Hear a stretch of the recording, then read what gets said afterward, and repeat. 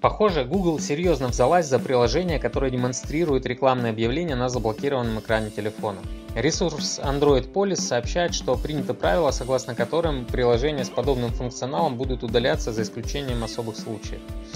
Директива компании гласит, если основной функционал приложения не связан с использованием экрана блокировки, разработчики не имеют права его задействовать, чтобы извлекать прибыль благодаря демонстрации рекламных объявлений. Новые правила – это реакция на многочисленные жалобы от клиентов Google. Такая политика даст возможность эффективно бороться с недобросовестными разработчиками, для которых монетизация приложения стоит на первом месте.